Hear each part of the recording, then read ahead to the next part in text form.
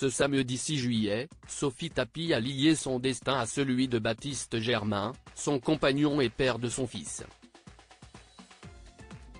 Un mariage plein d'amour célébré quelques mois après leur fiançailles.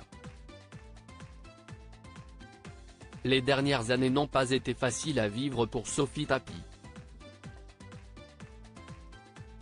En octobre 2021, la jeune femme perdait son père emporté par un cancer. Une douloureuse disparition suivie d'un divorce. Mariée avec Jean-Baptiste Marinetti, cérémonie à laquelle son père avait eu la chance d'assister à Saint-Tropez, Sophie Tapi a annoncé leur divorce le 30 mai 2022 sur Instagram. Si cette séparation a pu en bouleverser plus d'un, en réalité à ce moment-là, Sophie Tapi avait déjà retrouvé l'amour. Et elle n'a pas mis longtemps à dévoiler l'identité de l'heureuse élue sur son compte Instagram. Quelques semaines plus tard, la jolie blonde s'affichait au bras du rugbyman Baptiste Germain, évoluant au poste de demi de mêlée au stade toulousain. Le couple s'apprête d'ailleurs à prendre un nouveau départ puisque comme annoncé en début de semaine, Baptiste Germain a signé avec le club de Bayonne jusqu'en 2027.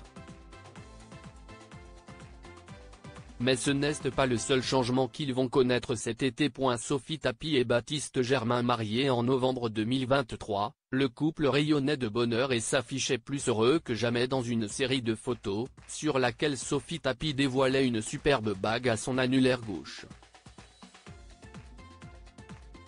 Baptiste Germain venait en effet de demander la main de sa douce, question à laquelle la belle a répondu oui sans hésiter. Et si la date du jour J n'avait pas été communiquée, si est ce samedi 6 juillet que les amoureux ont vécu l'un des plus beaux jours de leur vie? Selon les informations de Sud-Ouest, le couple s'est marié dans la ville de Bidar, Pyrénées-Atlantiques, devant le maire Emmanuel Alzouri. Le couple n'a pas choisi le lieu de son mariage par hasard, le rugbyman est propriétaire d'un logement dans la commune où les bancs ont été publiés comme il se doit, il y a quelques jours, écrivent nos confrères. Évidemment, nul doute que Sophie Tapi aurait aimé que son père regretté Bernard Tapi soit à ses côtés pour ce jour si particulier pour elle mais les jeunes mariés ont sûrement pu compter sur la présence de tous leurs proches.